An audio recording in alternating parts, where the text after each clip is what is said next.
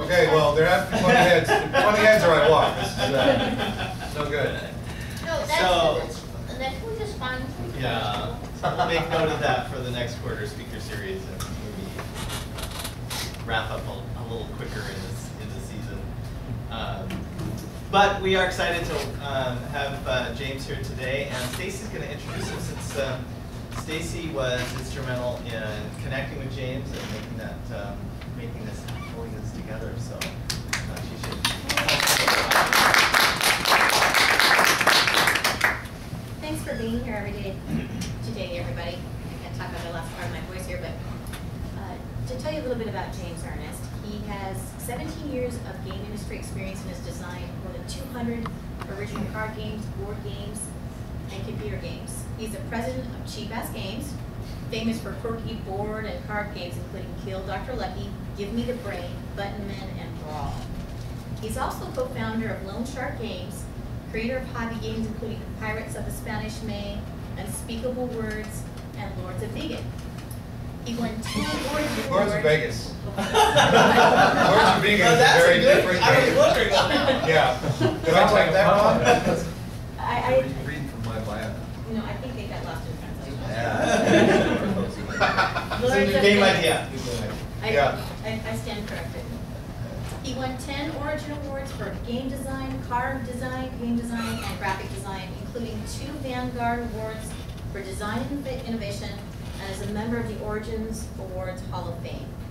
As game design manager for Carbonated Games at Microsoft, he was lead designer for Xbox Live games including Hexic 2, Uno Rush, Full House Poker, and Fable 2 pub games, as well as web-based games Flowers and Hoppin'. As senior staff designer for the Amazing Society, he was co-author of the collectible card game, The Master Game Economy, and the monetization model for the Marvel Superhero Squad Online. He's a frequent lecturer at gaming schools and conferences, and is co-author of two poker books, Dealer's Choice and The Art of Texas Hold'em. He currently works as lead designer at Spry Fox Games, where he's working on a super secret new computer game. Would you please uh, join me in welcoming Mr. James Ernest? Hello, everyone. Uh, Where shall we start? I, I, I want to talk to you a little bit about my background and how I got to where I am now in the gaming industry, and also a little bit about my game design philosophy. And then I want to just open it up to questions and talk about what you want to talk about. Um, I've been a game designer for, according to that, 17 years. It scares me to hear that. Um, but uh, really, I've been a game designer all my life, and, and the, the first things that I remember doing when I was driving a lot through the Midwest with my mother, the game was called Cow, and you would just call out when you saw a field of cows on your side of the, of the road. And even then, I was thinking about game balance because I was a kid, and so I had the disadvantage of being a child, but the driver had the disadvantage of being distracted by driving, so I figured it was kind of balancing because of that. When I was in high school, I wrote a chess variant that was part of a fantasy novel. Um, you know, everybody writes a fantasy novel when they're in high school, at least all my friends do. And it was a terrible book, but uh, I spent a lot of time working on the chess variant. And it was, in my imagination, it was an, uh, like a, a precursor of chess, so it had all the pieces, but a lot of different rules. And I spent a lot of time learning that game, changing that game, testing that game. Clearly, it was pointing to my future career, but I really didn't care much about finishing the book, but I, I worked really hard on finishing the game. Um, I think that people come into the game design job through two sort of independent vectors. One of them is entertainment and one of them is math. So if you're a programmer, you become a game designer from, you know, first writing your own games on your computer at home and then learning code and, and learning to copy other people's games and getting into it from that perspective. And you think primarily about game mechanics and that is what you perceive as a game. A game is its mechanics and that the story of a game is kind of this shell that's painted on the outside. If you come at game design from entertainment, you think about it backwards, and that's where I came from, basically. Um, you think of the game as a story first, as a, a story that you're trying to tell, either a joke or, or a very interesting, deep backstory, and then you create a game mechanic or find a game mechanic that fits that story and deliver the whole package that way.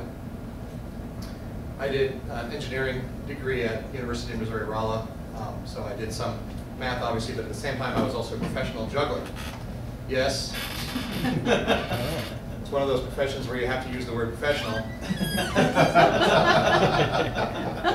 And I did that for many, many years. When I moved out to Seattle, I was juggling on uh, street corners and working birthday parties and so on. I did that until I hit the birthday party event horizon moment where my wife made enough money that it was not worth it for me to drive across town for a hundred bucks anymore. Uh, so today I'm doing it for free. Um, but entertainment is my primary perspective on game design. I got involved in the actual game industry, the hobby game industry, the paper game industry, around the time that Wizards of the Coast was just spinning up uh, Magic the Gathering. Have you all heard of Magic the Gathering, the trading card game? Um, Wizards was a pretty small RPG publisher at the time that I and my wife both went to work for them in different capacities, and they were just collecting money to invest in this brand new idea, which was a game made on trading cards. And it had been done before with baseball cards, but this was a little different, and uh, it was a pretty exciting idea, and we invested and got involved, and uh, it turned out to be a smash instant, huge hit.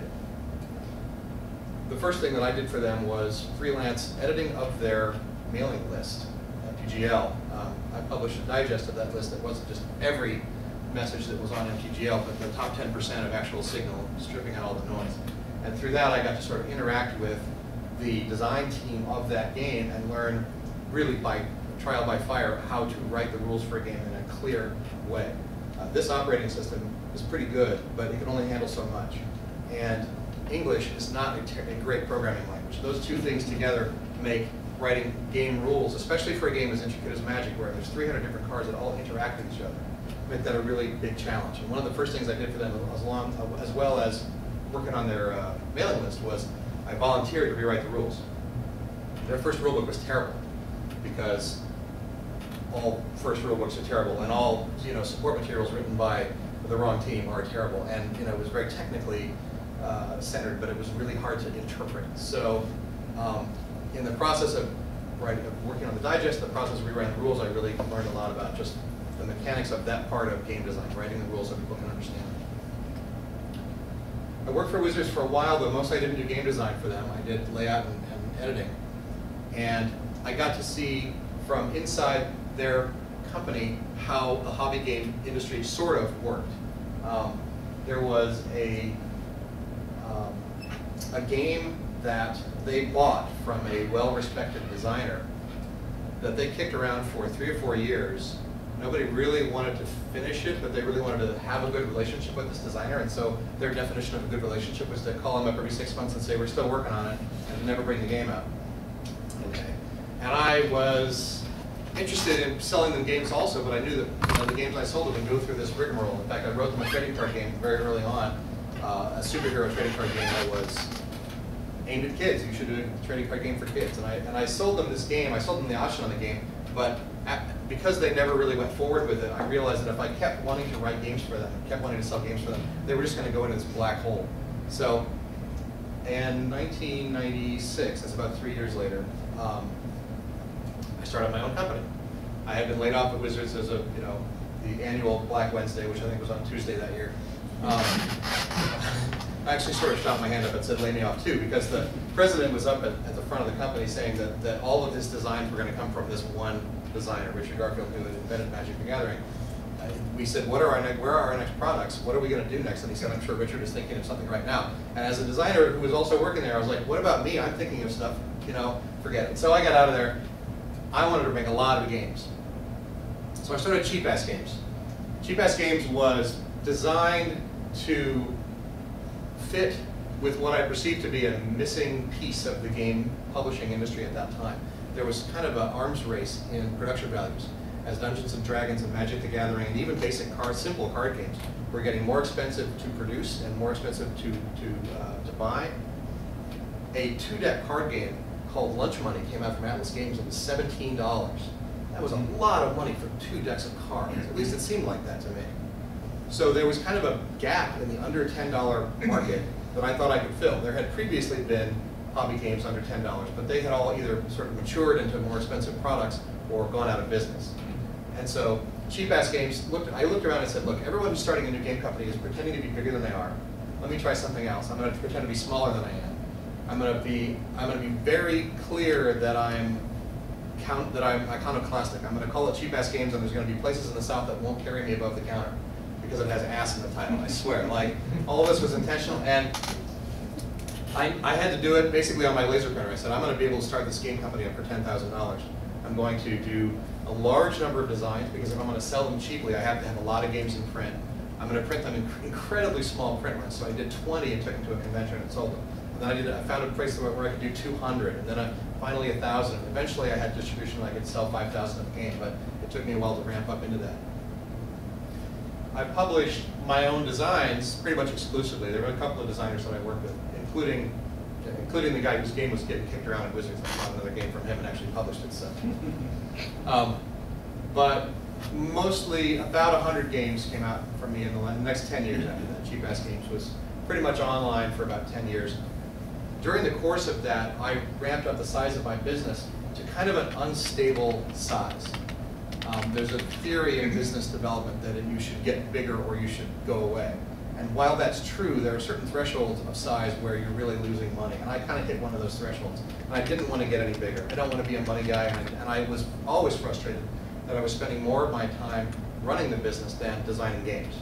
You're always going to feel that way, I think. Uh, if you're trying to do what you love for money, you're going to spend more of your time chasing the money than doing what you love. And that's, you know, that's just kind of the way it is. My aunt is a, is a watercolor artist, and if she wants to make money, she paints things that she hates because it's stuff that people will buy. And if she wants to do art, she makes art, and she sits on the gallery and it doesn't go anywhere. That's just a problem that all entertainment uh, people, all artists have to deal with. Anyway, so running my business, I was up to about six employees, which in the hobby game industry is actually kind of medium sized. And um, I had diversified into a lot of different lines. I had made products that were as expensive as fifteen dollars, and they had color ink and everything. It was crazy. And and these things were because they were costing me more in production. They were and there were so many of them. They were starting to stack up in my warehouse. All my profits were stacking up in my warehouse, and it was time to do something different. So in 2004, roundabout 2005, I don't know, I'm getting these dates wrong, but around about that time, about 10 years into Cheap Ass Games.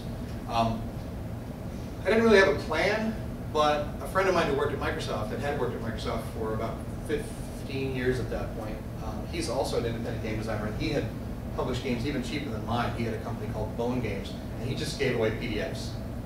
He said, here, print this yourself, let me know how you like it. And it was, it was a good business model for him, it wasn't a business model, it was a way to get his products out in people's hands. He printed a couple of things and tried to sell them, but he really wasn't making a business out of it because he had a job at Microsoft.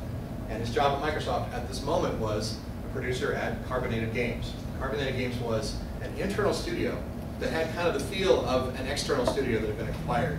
Uh, they really weren't. They were part of the Microsoft gaming zone.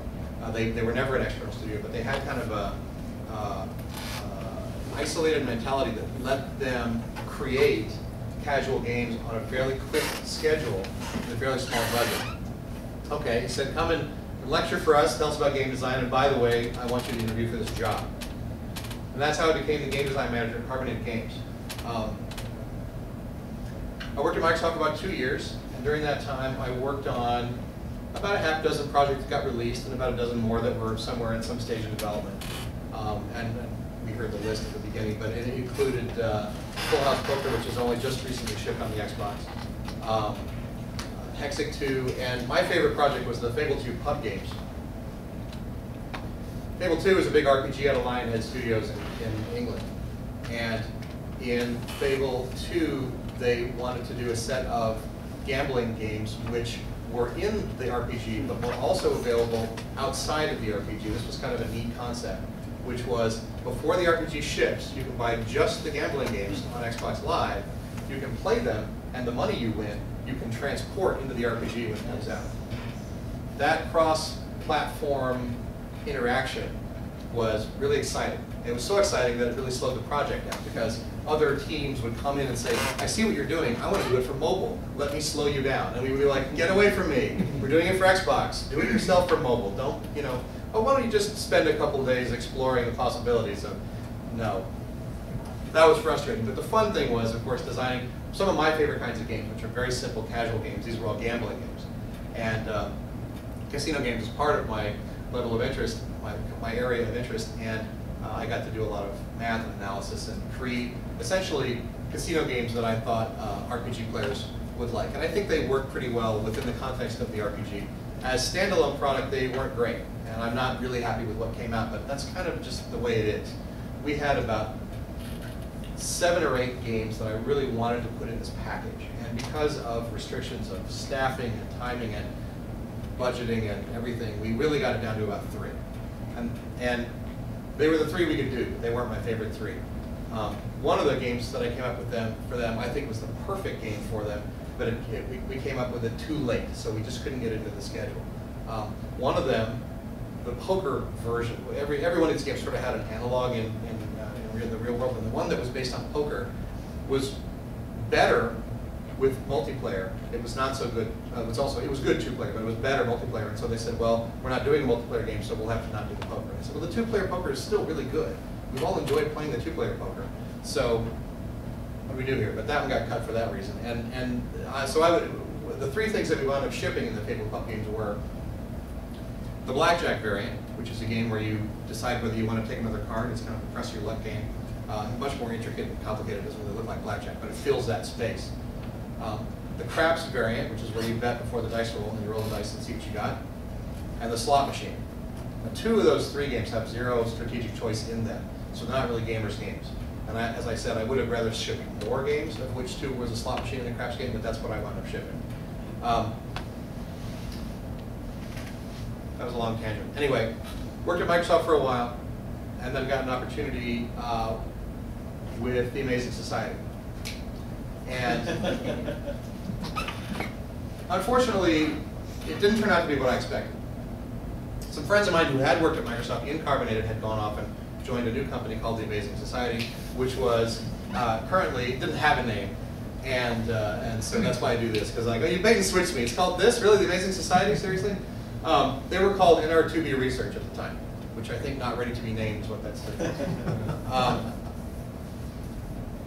and they were going to make a lot of casual games. A lot of the casual games for kids. They had some kid properties that they were pursuing.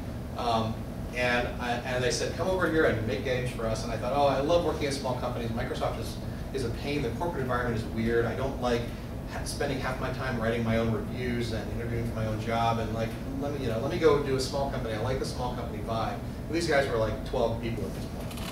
And so I'm going to go make casual games for small company.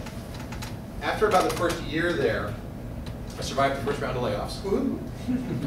Um, they had consolidated their products down to one. They had decided they weren't doing a whole bunch of little casual games. They were going to focus all their energy on one big uh, casual game for kids, which is cool. The Marvel Superhero Squad uh, MMO is what they called it. It was barely an, an RPG, but it was massively multiplayer and online, so it was technically an MMO. It was a game where kids could log on and, and run around and battle and, and play this trading card game and level up their heroes and find more heroes. And it was free to play with microtransaction, kind of the new you know, way that games are being delivered. Play our game for free in this demo mode and then hit these sort of soft invisible walls where if you gave us money, the game would get better. Um, so that company ballooned up in size and the project got really big and I became sort of, you know, I focused on one part of it, which was the trading card game. I also helped them engineer the monetization system and figure out how to take money and that was frustrating too because as the, as the sort of corporate masters down in California had got more engaged in the game, they were telling us more about what we could and couldn't do in terms of taking money. So there were technological problems with taking money, we can't write this code, and there were legal problems with taking money. We can't take it in this particular way, or else the accounting gets hard. Yes, there were accounting problems with how to take money. Um, which is frustrating for the game designer who just says, I should be able to sell this this way. It's very easy to explain this to a customer. What you're telling me is we need three different kinds of currency, and they have to do this weird back channel thing to get any money out of it. And like, how do I how do I turn what the accounting what the accounting department wants into what the player can understand? Um, so I did not survive the second round of layoffs at that company, and I wound up on my own in the spring. Um, and uh, floating around, I wound up uh, meeting with some other folks who I'd worked with at Microsoft who had a small company called Spry Fox.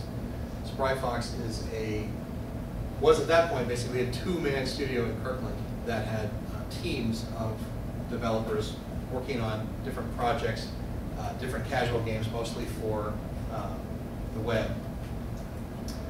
If you want to play a good Spryfox game, I recommend you play Triple Town on Facebook. It's a match three game, but it's, it's very interesting in the way that they've um, grown that genre. Basic match three game is get three in a row and they disappear. In Triple Town, three in a row consolidate into a new object. And then three of that object consolidate into a higher order object and so on. And you have a very limited space to do this in. So it's very fun. And I can say all those good things about it because I didn't work on it. I, I came on board after that was basically already shipped. And uh, what I'm working on for them now is uh, kind of a, we're calling it an RPG, but it's not really, because RPGs have a lot of pieces that ours don't, don't have. It's a very lightweight game where you have a bunch of characters and you can collect them, and under the surface, the guts of it are basically a trading card game. Uh, if you think of every element in the game, the spells, the equipment, the characters all as cards, that's what you're accumulating and that's what you're uh, collecting and trying to build a better deck as you go out and fight against things in the world and also against other players in the game. Um, so my work situation right now is that I work from home and I manage a team of one artist and one developer who are both on the uh, East Coast. So by the time I get done with lunch, they've already left the office. I get about an hour of sort of chatting with them and then I start throwing stuff over the wall. Um, that game is going to be done after a nine-month cycle with three people working on it. Um, and the people that I have working on the team are absolutely amazing. They, they, they turn over great work really quickly, faster than I expect. Um, and so it's a really good working situation for me. Uh, that brings me up to date where I am. That's my, that's my work history. Thank you very much. Pause for breath. We'll talk a little bit about my design philosophy. Um, games happen here, and I want to engage this part. I want to engage my customer's imagination um, before I get his fingers moving. And my personal way to do that is to tell him a good story. I am kind of alone in this, although I think I'm, I'm, my numbers are growing. Our numbers are growing. The story-based game designers who come into game design from entertainment, who think, what story am I trying to tell with my game? What are my characters? What are my players pretending to do? What emotions do I want my players to have? All of those questions are sort of sketched out before we make any decisions about mechanics. And that's an ideal world. Obviously, when I get asked to write a computer game or a card game or a board game, there's some parts of it that are already decided for me. But as little as possible, I hope, before I have a good idea of what the story is. This is good practice when you wind up having to write a licensed game like the Marvel superhero game where these characters are already very well defined. Um, to try to translate something that is already an intellectual property but not a game into a game requires the kind of chops that you develop when you start with the story instead of the game mechanics. Um, many game designers come at it through the math vector, through the, the developer or mathematics vector, and so they see games very differently. They see games as a mechanic first, with a skin of theme attached to the outside. And you've probably played games that are like that. Um, games which could really be about anything, but are therefore, in my opinion, kind of about nothing. I don't really feel good about what I'm doing from an imagination perspective. I just kind of get into the guts of it and, you know, work the math. That's fine. I can play games that are about math, but I don't enjoy them as much as games that really feel like they're about something great. So when I did cheap ass games, almost every cheap ass game, and I, well, let's see, almost every ass game uh, means 80% of ass games, were story, a title, a joke, a character, before they were a game. The most successful board game in the ass games line also happens to be the first. And I'll say this, I did a lot of my best work when I didn't know what I was doing, so everything I'm telling you now is probably wasted. But, title first. The title of this game is Kill Dr. Lucky. As soon as I, you know, said that title in my mind, I was driving across town to visit somebody, I said, Kill Dr. Lucky. As soon as I said that, I knew kind of what the genre was. And I'd written, when I was in college, I'd written some short story about, you know, there was a clue type short story, murder by death short story, where everyone's in the mansion, they all want to kill the, the victim, and then suddenly the lights go out, and then they come back on and he's dead, right? Um, so, so that story was already kind of floating around in my head. But the idea of the game is that same thing. Everyone in Dr. Lucky's house wants to kill him. So you just want to be the one who actually does it. No game mechanics, just that story. That's how it started. And I had a development team, a playtesting group, that was helping me build all of the new games for Cheap Ass Games. We, I knew that I wanted to have about a half dozen at launch, and Dr. Lucky was one of those. And it immediately rose to the top because it's such a good story. You want to play that game. I haven't told you anything about how it works, but that's just a fun game. It sounds like it's going to be a good time. From that, we said, well, it's probably a board game. There's probably a mansion where you're all walking around trying to kill him. And then we kind of got into mechanics like, well, how do we make it easier or harder to actually win this game? Part of it is, the secret is you don't understand that everyone else also wants to kill him. You can just work together, but you think you're the only one. So you have to be alone in a room with him where no one can see you. And that starts to make mechanics out of nothing. It starts to make mechanics out of the story. So instead of going to an, an existing board game like Clue, where moving around actually is sort of irrelevant, um, to a real board game where the board is actually doing some work, was the result of having a story in mind before I started designing the game. The next part of the mechanics came out of, well, okay, the story of Doc Kill Dr. Lucky is partially that everyone tries to kill him a lot, and he's very, very lucky. Okay, that makes sense. So, you know, it's, it's, it's not so hard to try, it's just really hard to succeed. It's fun to make lots of murder attempts. It's not fun to sort of save up all your energy and then I win. So, how is his luck manifest in the game? And the final solution that we came up with was everyone has cards in their hand that represent his luck. So when it's not my turn, you want Dr. Lucky to live. I make a murder attempt, and then everyone else can play cards out of their hand to try to stop that from happening. They're called failure cards. I'm a new card game based on another called luck cards, but whatever they're called, they're the cards that represent Dr. Lucky's luck, so that you hit him for three points, someone plays three points worth of failure, and he gets away again. Haha, it's very fun. Actually, it is really very fun. By the end of the game, you are, everyone is just like, please die, die, die. Um, That's been kind of the blueprint since then for how I think games ought to be made.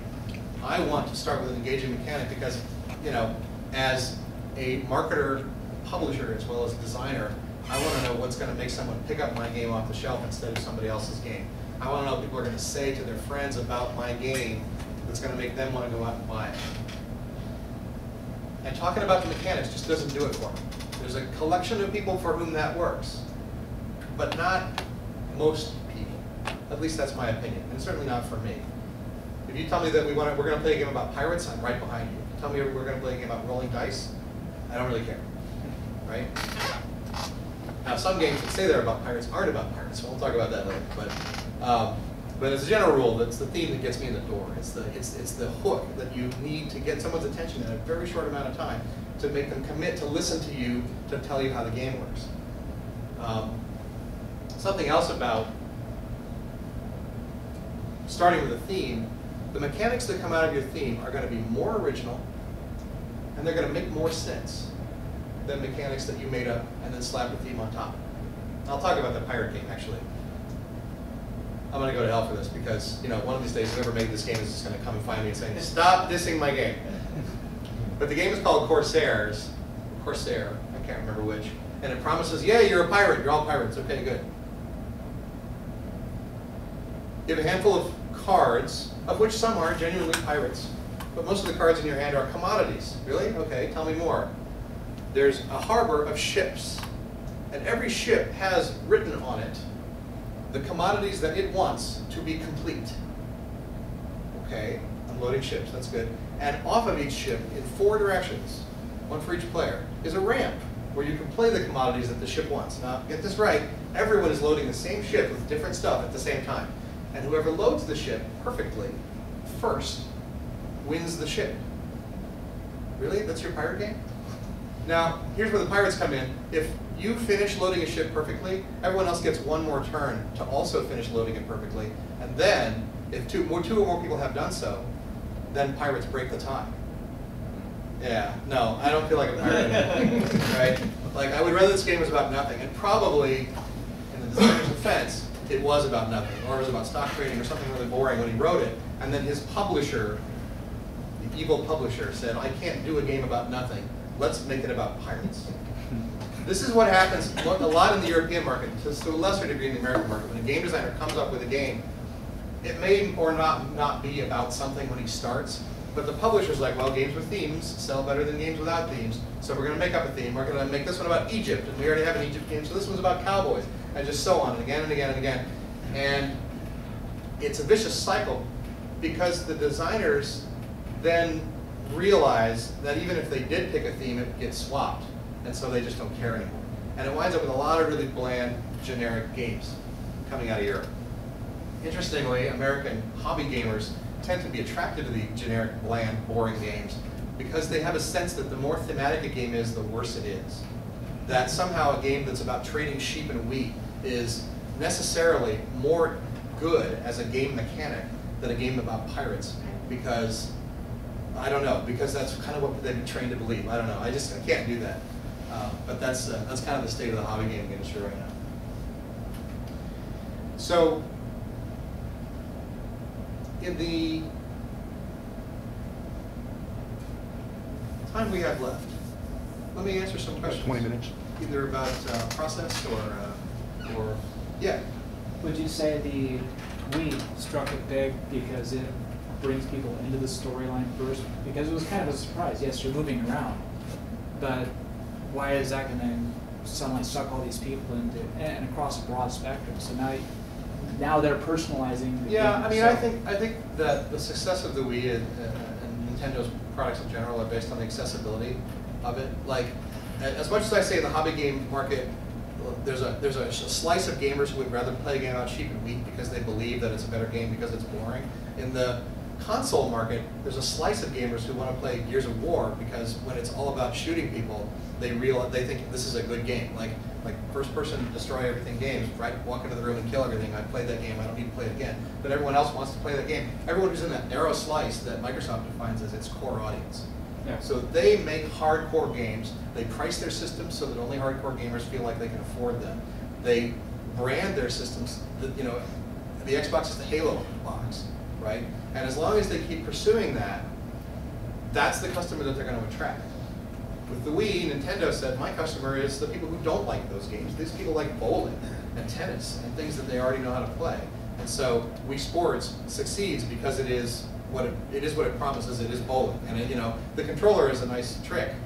Um, it, it, it, it, makes whether you did it with a motion controller or just a simplified controller or whatever, um, making the game more accessible to non-gamers is why that platform succeeds. And of course, it's derided by the industry uh, for exactly the reasons that make it successful out in the real world.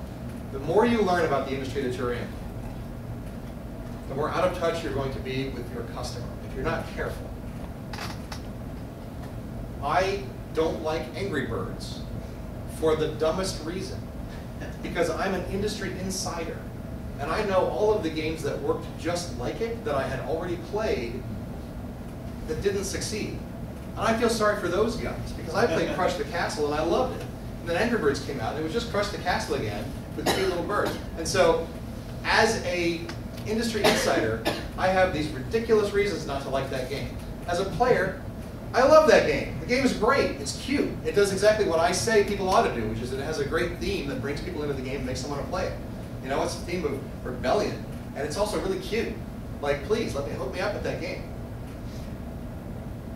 So you have to learn which part of your brain is coming from that insider's perspective when you analyze the success of any project, right? When you try to predict the success of any project, when you say, oh, we can't make Angry Birds because Crush the Castle already exists. That happens all the time. And it's a, it's a real you know, blocking point in brainstorming when, when you come up with a, just a sketch of an idea and someone in the room says, I've seen that before, and you let that crush you. Don't do it right? Yes, you've seen something like this before, but we're going to work on this and we're going to make it better. We're going to make a better product that way. This is my brainstorming lecture. You have two brains. You have a child brain and an adult brain. The child brain loves everything. The child brain gets excited about everything, has never seen it before, and really wants to get behind any great idea. Your child brain loves zombies and wants to make a game about zombies. Your adult brain is very analytical, very grown up. It's the brain that our society teaches us is the more important one. And that's how we learn to listen to it. But during brainstorming, that guy needs to shut up. Because he's gonna say, there's already been a game about zombies, we're done now, come up with something else. He needs to leave the room. When they say there's no bad ideas in brainstorming, what they're not saying is that there's no bad ideas in brainstorming. Brainstorming is full of bad ideas. What, what they're saying is that the guy who says it's a bad idea needs to shut up and let it turn into a good idea. The child brain does have problems. The child brain is so enthusiastic about everything that it can't really get anything done or finish anything. So the adult does have to come in the room when it's time. When the child has made it very clear to you why what you're doing is awesome, then the adult can come in and say, good, I'm glad, I appreciate why that's awesome now, let me help you finish that. But if you are always thinking with your adult brain, if you're always self-critical, you will never come up with a good idea because you won't let yourself come up with a good idea. Uh, I was writing this, this exact section in a, a game design book uh, last spring. And while I was working on this, this happened to me. My daughter came up, uh, she was, uh, she's nine, and she says, I had a dream last night. Okay, tell me about it. Well, we were in South America and we were hunting lions. And right then, my adult brain said, but not out loud, there are no lions in South America. Because if I'd said that, that would have been the end of the story. I just let her keep talking. And then we all turned into the cast of Scooby-Doo and solved the mystery and got to the end of the story. Whatever, she told me all this other stuff. But I realized that that adult brain coming in and saying, what you just said is technically wrong, is absolutely the wrong thing to do if you want to keep the child talking. So it was fun that that thing actually happened to me while I was writing it up. Uh, but it's, uh, it, it happens all the time. And, and it's why people, I think, feel like they're not creative. They are creative. Everyone can create. You can hear a good idea and you can process it and turn it into something new or come up with it out of nothing. But if you stop yourself too soon, that's why you, that's why you don't. Good, good question. What's next? You just described my team. yeah, right. Well, and I'll tell you what, I had that exact experience too. I was, uh, I was invited to pitch a whole bunch of ideas for a new piece Yeah. of technology, right? Here's a new piece of technology, and I won't tell you which one it was, but it's, it's great, it's gonna be the next new thing. Okay, great. So, I wrote up a bunch of stuff, pitched it, none of it stuck. They said, come on in for a brainstorming meeting, let's see what we can do. So my team, me, two other game designers, sitting in the room with a bunch of these, uh, uh, you know, guys from the big corporation that I won't name, if I, if I don't screw up. And we would say idea X. And they had two responses. The first response boiled down to idea X. I've seen something like that before. Let's move on.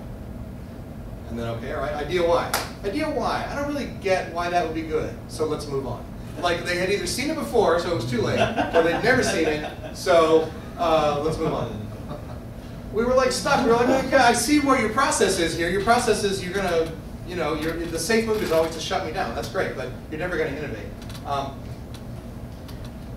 it, it's it's it's really funny to read a design doc that I wrote when I was at Microsoft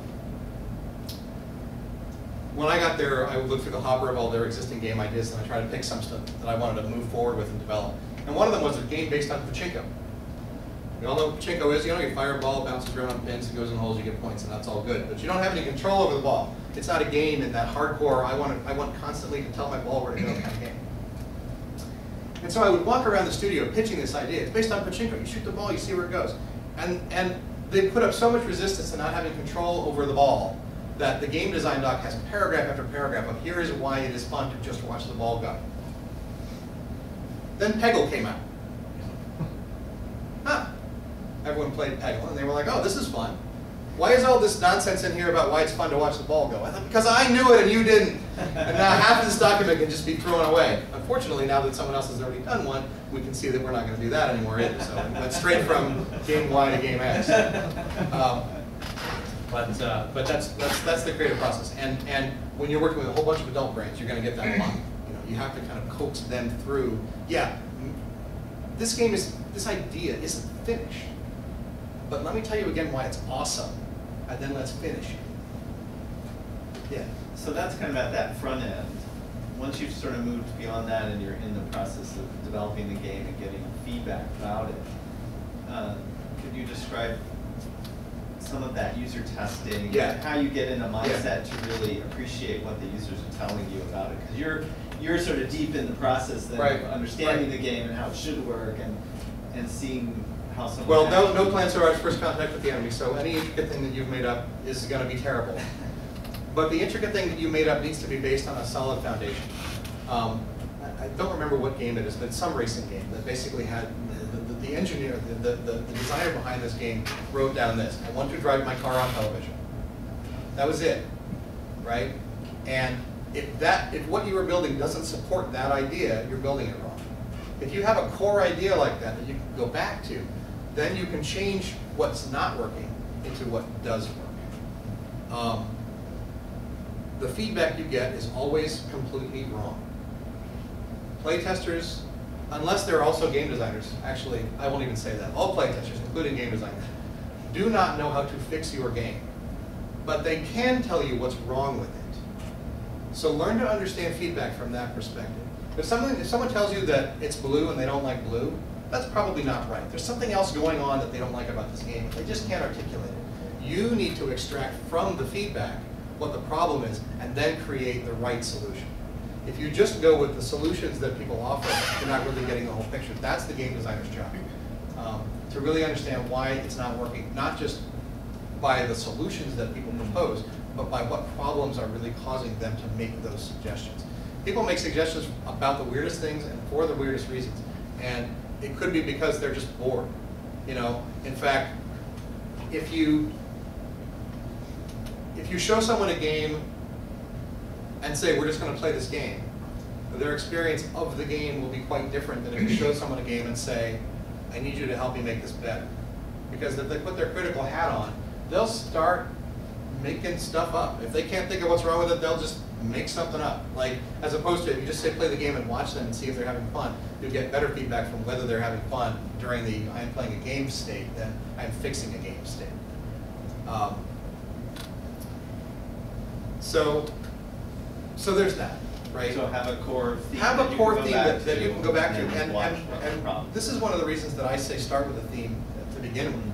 Because Kill Dr. Lucky, like if you had to say what's the theme of Kill Dr. Lucky, it is, it's, it's, it's, well, that's, that's, that's not, that's the game objective, right? But I mean, what's it gonna feel like? It's gonna be fun, it should be light, it should be easy to understand. I should really want to kill him by the end, right? Uh, and the, the, the pieces of that puzzle are not game mechanics, they're, they're emotions, they're feelings, they're, they're a very loose structure for the game. And I think you can do this for any kind of product design, really, to say, this is how I want people to use this product. You know, the iPad is a very technical, uh, you know, technically superior, amazing achievement, but you can describe it in terms of how the player uses it, how the user uses it very simply. And if you can come back to that and say, this is what I'm shooting for. My first attempt didn't get there, but this is where I'm trying to get really when you just give someone a rule book and say make this game better, all they have is the rules. And they have to interpret from the rules what you're going for. You know, at least give, tell them where you're headed, tell them where you're going, and that'll, that'll help a lot, yeah. It seems like the, the industry is kind of this dichotomy, you know, in terms of the creative and the, you know, and the technical, obviously, it's like, just like you say, child and adult, Yeah. having right brain, left brain as well. So I can take all these classes in programming and technically create any, any, any movement, any concept, any, anything I want, but it- it's almost like, you- in it- to be a good game programmer, you should have a minor in in literature.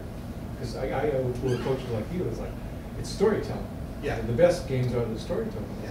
What if you, you basically come from it, from a, the strength of, you're a better storyteller, but you don't have the techniques? Is is there a place for someone who proposes an idea, says, I've had this whole game laid out, and it's all written out like a, like a book, like a, like a novel or a movie, but I don't have the technical know-how how to put it together. Is there a place for someone to approach someone, a group of technical people and say, you know, and convince them, sell it to them that this is gonna work? Is there a place? I don't know. Because unfortunately, my career has been kind of like a feather in Forrest Gump. You know, I, I just kind of have been blowing from good situation to good situation. But, but I will say that you need to find someone with those skills. When I was publishing my own games, um, I had all of those skills. I had a playtest group still, and I needed the group to help me build games, and I cannot make a game in a vacuum. Like, like I said, your best plan never survives.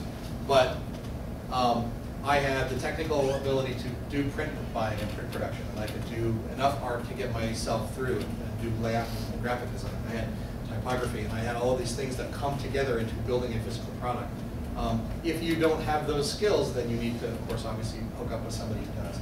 But um, I think the storytelling skills are undervalued in computer games. So much of the work is done by the people who are technically capable. You know, you have to have a programmer to make a computer game. You, you can get by without a game designer, not the other way around. You can't just get by with a game designer without a programmer. Um, and that's why you can see the output of that process shifting over to the programmer side, by the law of averages, right? Um, so uh, for your particular situation, I don't know the answer. Uh, but, you, but, but certainly a storyteller who is just that should familiarize himself with the code side of it. Not necessarily learn how to make the game, but at least get a handle on how hard it is and who you need to get to do it. This is one of the most frustrating things about my career in computer games is that I'm not really a coder. I wrote computer games when I was in high school. That was a long time ago. And so I sort of have to work with a manager who understands what the programmers are doing, or work with a really good programmer who's, who's, who's upfront about his abilities. Because when someone says, I can't do that, to what I, what sounds to me like a very simple, you know, do a, do a physics game in Flash, that can't be done. I have to take that at face value because I don't know, right? I have to go to a third party and say, is this guy just jerking my chain here? Can you do a physics game in Flash or not? And that's a, that's a shortcoming, that's a problem that I have had. Is that I can't, I can't take a feedback from a prototyper uh, without just taking it, without just believing it at face value, because I don't have any experience to show me otherwise. Um, So one of these days I'll learn to write computer programs, but not today, Yeah. We have a program here that. I would love to do that, yeah, sure, sure. Take classes. Nice. Okay, so you're coming at it from a design perspective. People get frustrated. It's the design's fault. It's not the actual structure of the game, mechanics of the game. You messed up on the design, so now this is a design feature you have to change. Now, you're, you're a designer, you're working with programmers. Do you end up running into a roadblock where you have this concept in your head, it's all making sense? Yeah. And then they go, I can't do that. That's certainly true, but they, often they will not say, I can't do that, they will say there's always a cost. To implement your new design feature will take me three weeks off schedule. And you have to make that decision, that's a tough decision to make. And in fact, when I was at Carbonated, it was a weird situation because prototyping, which we should have been doing a lot of, was not getting very much attention. There, I did not have a dedicated prototyper, instead I could have whoever was free. Who's ever free? And it turned out to be nobody. Like, if I didn't have a dedicated guy to, to just build prototypes and throw them away a lot, we were not gonna get that kind of prototyping work done. Um, So I had my most success with the games that I could prototype on paper. And in fact, if there's any prototyping that you can do on paper, you should figure out how to do that. Running it through the code cycle is gonna take a lot of time. Whether the guy's a genius or terrible, it's still gonna take some time to try every little change that you wanna make to your game. And, um, and, and, yeah, I have so many different directions to go from there, but, but I came to computer games from paper, where making a change to the rules is instantaneous Right. where you can say, you know what, I think the sevens are going to be nines. Just, you know, play the card game again, but the sevens are all nines. And we just do it, right? Changing a seven to a nine is not hard, but to say that, okay, we draw three instead of two, or actually we pass left, pass left, that's impossible, right? Uh, It'll take me a week to write that, but we can do it. In the card game, we just pass all our cards to left, right? So, so when I sit down with a bunch of computer programmer, you know, game designer types, and invent a card game, they're just like, whoa, what did you just do? Because we play like 100 games in an hour. And I'm like, well, this is what I'm used to. And when you flip it over the wall and say, well, give me the results whenever you can, and it takes a week or two to get even the smallest change in, you get sort of frustrated. And you, you kind of have to sort of budget your changes. Okay, I'm pretty sure this one's good. And I wind up writing arguments. I wind up writing testimonials, why I think this is a good thing for the game. Before I hand it over to the coders, I'll say, I'm pretty sure this is the right way to go. If I can't, just paper test it. Luckily, most of the time I can just paper test it. Do you break, okay, so there's a break between design and mechanics. Is there also a break between design mechanics and the algorithms, the, the logic side of it? Because guys can code, Yeah. but guys a lot of times don't comprehend the, the algorithms that they have to do to make. Yeah, well, I, that, that's kind of my job. Um, you know, what, in, on, on the paper side, I say the game designer's job is to do the math so the players don't have to.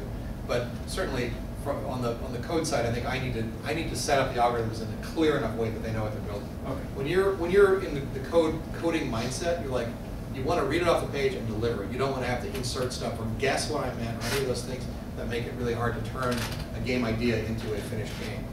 Um, Now, because I've produced a lot of my own games, I'm always making these tweaks really late in the process, and so it's hard to have everything spelled out at the beginning. But you kind of have to if you're going to have someone else building it for you. So this is the logic, this is the loot table, this is the exact percentage of each of these things, this is how often you have to roll it, like all of the things that, that you would sort of make up as you went along if you were doing it yourself. You kind of have to specify before you hand it to the coder, or else it will go back and forth a lot and be sort of confusing. Or he'll, he'll insert something that's like, well, I wasn't expecting this, yeah, I had to make something up. Oh, yeah, you're right, I never told you what to do. Yeah. Have you ever had to significantly modify a story to fit within technical limitations? Yeah, um, usually it's scaling back a, um, a game design, cutting features, something like that. Um, at the story level, you, you, you don't really want to do that because story, story is so simple. You know, story from, the, the way that I mean it is not all of the details, all the characters' and backstory, but just like the theme and the feelings of the game. And so that's, it's hard to scale back on that. Um, but we were talking about before, the, the Fable Pub games, I wanted to do six at least, please, give me a bunch of games in this casino. And we wound up with three, because that's the staff that we had, and that's the, you know, that's the time that we could put into it. Uh, and, you know, I sort of tricked myself into thinking, that's fine, we'll do an expansion, we'll get the other three ones in there, but of course, that's never gonna happen, so. uh, Yeah, you certainly, you certainly wind up cutting features, and each, each individual game was a feature in that case. We had sort of an overarching structure that took care of your money, that's the casino part, that's great, we only have to build that once, and then each game was kind of hanging off of that, and we could only hang three before we ran out of people. Yeah. Uh, is there any difference between going to an art university to learn game design or being a computer engineer to do game design? Are there different differences in the programs? Yeah. Um, certainly. I, I don't know. I haven't been through either one of them, but um, but I would expect that there probably are. And one of the best game designers that I know uh, is not a programmer at all, but came up through the art uh, school. He's he's working in Kinect now, doing you know game designs with that hardware, and he's he, and I agree a lot on sort of philosophy of game design. So, so because he's got the artist perspective, it is all about the user's experience first and not how the game works. I think this goes back to what I was saying about if you're too involved in something, you, you see it from a really different perspective than the users do. So you sort of have to learn to